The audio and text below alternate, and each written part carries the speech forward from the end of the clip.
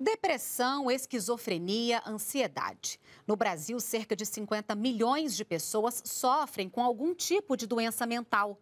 O governo federal está ampliando o tratamento que é oferecido de graça pelo SUS. Para isso, deu início no Distrito Federal ao projeto piloto Linha Vida.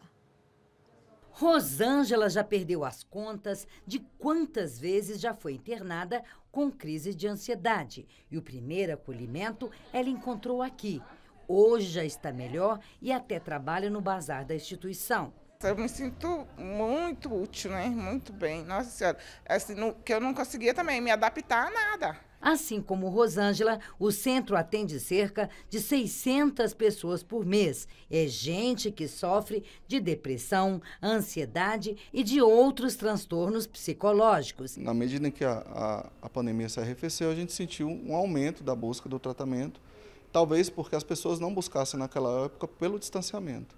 Atualmente, o Brasil conta com quase 3 mil centros de atenção psicossocial habilitados, como este no Distrito Federal, distribuídos em mais de 1.900 municípios. Existe ainda uma rede de ambulatórios especializada com 224 serviços para o tratamento de transtornos mentais e também de problemas decorrentes do uso de drogas.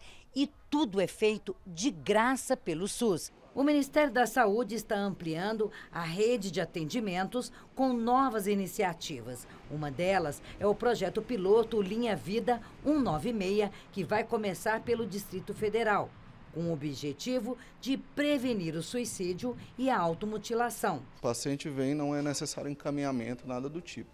Ele vem, é acolhido, é avaliado se a demanda é para tratar aqui, ou se às vezes a demanda é para tratar em outro local, ele é encaminhado para o local adequado. Reforçando, viu? O número do projeto Linha Vida é o 196. A pessoa que liga é acolhida e direcionada para atendimento.